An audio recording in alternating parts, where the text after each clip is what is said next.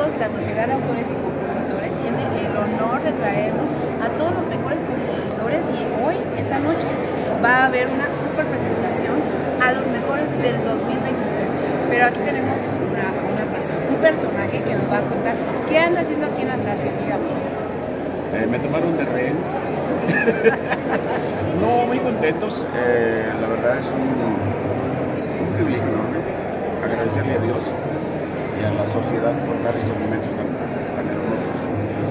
Que puedes eh, sentirte halagado y saber que alguien se fijó en tu, en tu trabajo y no pasar desapercibido en este hermoso trabajo, porque cuántos compañeros no tuvieron esta oportunidad y a nosotros que nos den hoy, pues que nos den un reconocimiento por 25 años de, estar aquí en la sociedad.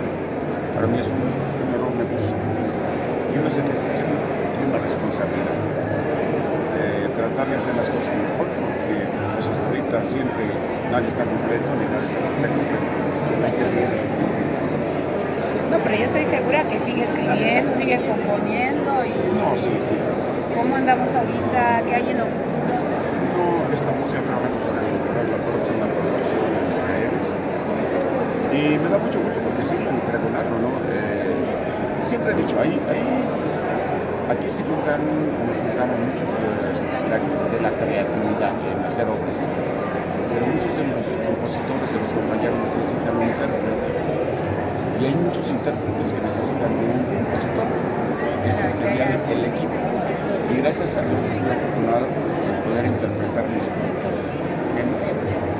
Eh, esto es algo tan especial y no te casas de agradecerle a Dios a la gente haberte hecho un espacio en su corazón y su gusto musical. Porque hay tanta, tantas alternativas musicales, tantas voces hermosas, tantos genios para componer obras maravillosas y que, te, que se escriben en un detalle tuyo, pues para uno es un halago y un enorme. Claro que sí. Y bueno, ¿y cómo te vamos a seguir en redes para la juventud que no te conoce? Bueno, estamos sobre las redes, tenemos losrehenesmusic.com, ahí estamos todavía. Pero personal. Pero fíjate que ya que tocas el tema, eh, a veces nos sentimos un poquito, la actualidad es muy... Tomamos la música, pero yo creo que nos volvimos muy violentos en las frases, en la música, en las palabras. Letras. Y a veces te da pena, eh, la gente no. Si se podría decir que si la gente que escribe esas canciones tan fuertes, ¿en quién piensa primero? A su mamá, a su esposa, Mi respeto es para todos los que lo hacen, porque si mientras haya quien lo funciona, pues hay quien lo funciona.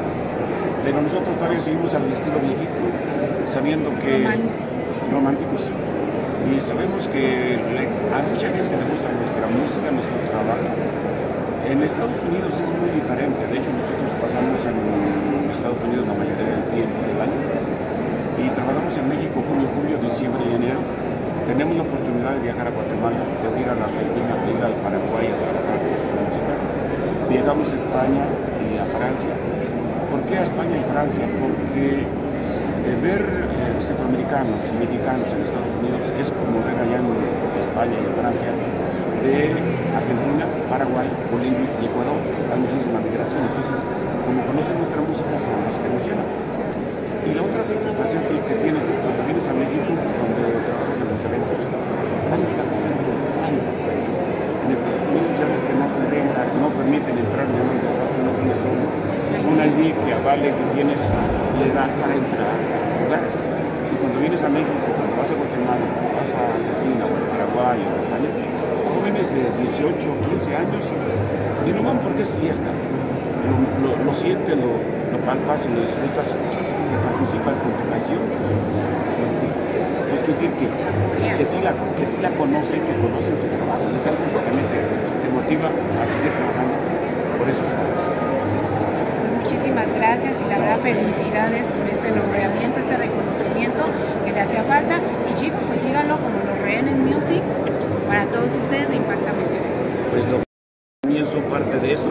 Sin ustedes no hubiéramos llegado aquí hasta donde estamos, así que se vamos los- por más, ¿eh? Dios se los pague con muchos hijos, con muchas novias, con muchos novios con muchos nietos. Saludos de parte de un servidor Javier Torres.